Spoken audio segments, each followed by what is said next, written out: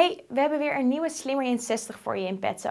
Ik ga je alles vertellen wat je moet weten over studieschuld en het terugbetalen ervan. Dus heb je een minuutje?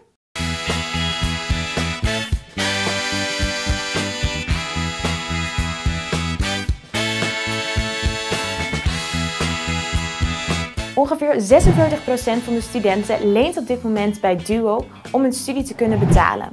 Lenen is niet altijd slecht en hoort er voor veel studenten gewoon bij. Maar hoe zit dat dan met aflossen?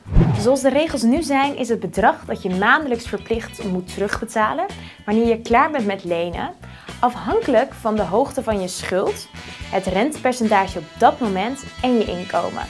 Dit rentepercentage verandert iedere vijf jaar en staat nu op 0,81%. Om je een idee te geven van dit bedrag, als je nu begint met aflossen en een schuld hebt van 16.000 euro, dan zal je ongeveer 105 euro per maand terugbetalen. Je hoeft niet meteen na je studie te beginnen met aflossen.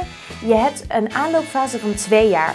Eerder beginnen met aflossen mag ook en is voordeliger omdat het rentebedrag minder hoog oploopt. Wat je ook kunt doen is meteen een hoog bedrag extra aflossen, waardoor het maandbedrag lager wordt.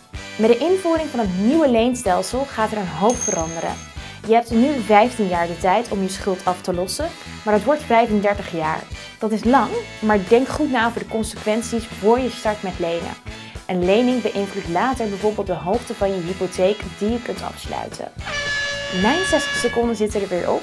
Als je nou meer info wilt, ga dan naar duo.nl.